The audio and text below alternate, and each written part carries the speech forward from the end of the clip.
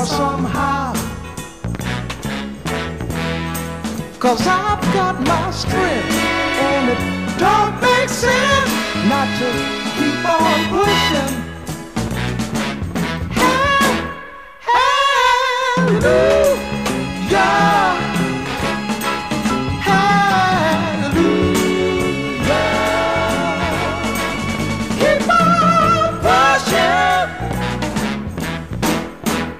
Now maybe someday, keep on pushing.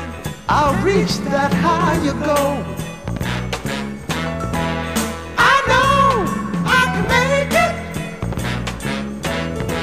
with just a little bit of soul. Cause I've got my both strength. the flower power and the black power, all these people had something in common, which is they were willing to put their lives on the line, look ridiculous, risk it all on building a world they could imagine. And I was in a community of people that sort of straddled the line. I was in a community called the Diggers, and the Diggers were kind of well, we were not hippies. We were not flower children. Most of us were armed and we weren't kidding around. And we wanted to imagine a world that we wanted to live in. We couldn't imagine people throwing themselves on the barricades to be lumpen proletariat. But we did figure that if people began living the way they wanted to live, that they would defend it. And because a lot of the uh, progressive options were kind of communist inflected, we were all artists and we didn't really feature the idea of doing plays about heroic bus drivers and paintings of elevator operators. So we wanted to imagine a world where we could be authentic, where we could be who we were. And then we wanted to make it real by acting it out. And that's what we did. So we wanted to live in a world with free food. So we went out to the farmer's market, we got food, and we fed 600 people a day for three years. And we got wanted to live in a world with free medicine, so we got medical students from the University of California to come down once a week and run a clinic. And we wanted to live in a world where we didn't have to get a gig and be an employee so that we could get the money to be a consumer. So we collected the world's garbage and we cleaned it and sorted it and repaired it. And we made a free store where you could get a television or a bicycle or a set of dishes. And because it was a free store, we didn't really have to have a boss. So if you came in and said, who's in charge here? We'd say, you are. Well, the big part of the world we imagined was a multicultural and multiracial world. And even then, in the 60s, the people who gave us the garbage would not give garbage to black folks. They couldn't get food, they couldn't get cast-offs. So the diggers dropped our stuff off, we split what we got at the Black Man's Free Store. And we had our own uh, newspapers on the street called the Communication Company. And one day in uh, February of 1968, there's a knock on my door, and I was living with the two guys that were printing this paper. We had stolen these big electronic stencil cutting machines from mimeographs, and we were printing out these handbills. And the opened the door, and there's two young brothers there on the on the stoop, and they introduced themselves, and one's Huey Newton, looking a little bit younger than he does in that picture there, and the other was Bobby Hutton.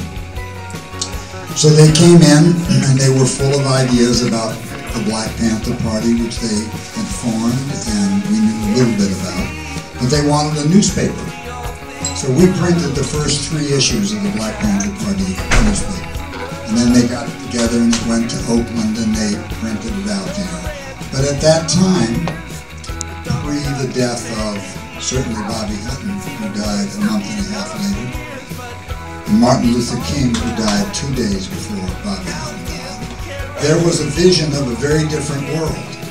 A lot of black kids would come up from the Fillmore, we'd have doo-wop groups, competition up and down, 8th Street a cappella singing and soccer games, I mean volleyball games over the trolley car wires. And there was a moment in time when all these people were, each was addressing kind of the beast that surrounded all of us in their own way.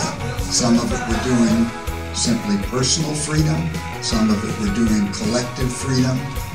We were doing cultural freedom because we thought that culture would finally last longer than uh, politics. I'm proud to present Jay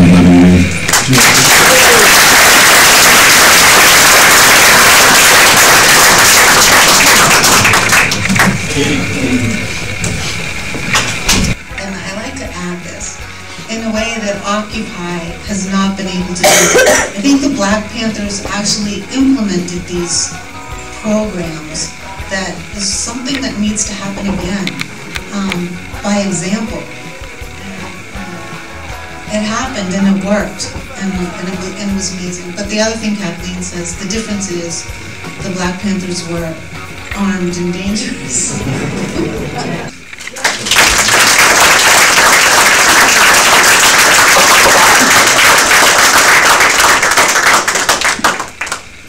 All power to the people. Can I hear that again? That was the slogan of the Black Panther Party, one of the many. Um, my name is Billy X. Jennings. I'm a former member of the Black Panther Party, but not really. I'm still a Panther. Um, I, um, I've been working with the party since I was 17. Uh, what you see here is the very beginning of the Black Panther Party. The Black Panther Party was a baby during this period. It only started in 1966. It picked up momentum in 67 when the Panthers went to Sacramento, and it picked up more momentum, in, October 1967 when Huey Newton was shot and accused of killing a police and wounded another. And that started the Free, uh, Free Huey movement that went across this country like wildfire. Because what the Black Panther Party was standing on was a 10-point program. 10 principles that Huey and Bobby laid out of what we want and what we believe. You know, basic stuff like uh, decent housing, decent education. We wanted to end, uh, we wanted all black men to exempt from military service. Because you got to remember, in 1965, Johnson signed the voting right bill. I mean, they were drafting people to go fight in Vietnam for democracy. Where was our democracy? We can't even vote. Now, to bring this home today, uh, black, our website, www.isabouttime.com, has a lot of information, a lot of videos about the legacy of the Black Panther Party. And I live in Sacramento, California, but I have people traveling across the country from India, from Paris, from England to our house, because there's a big archive there, to find out more about the Black Panther Party. The legacy of the party is still alive because people, young people today want to find out how we dealt with problems of yesterday. Because the problems of yesterday are still here. They're still here.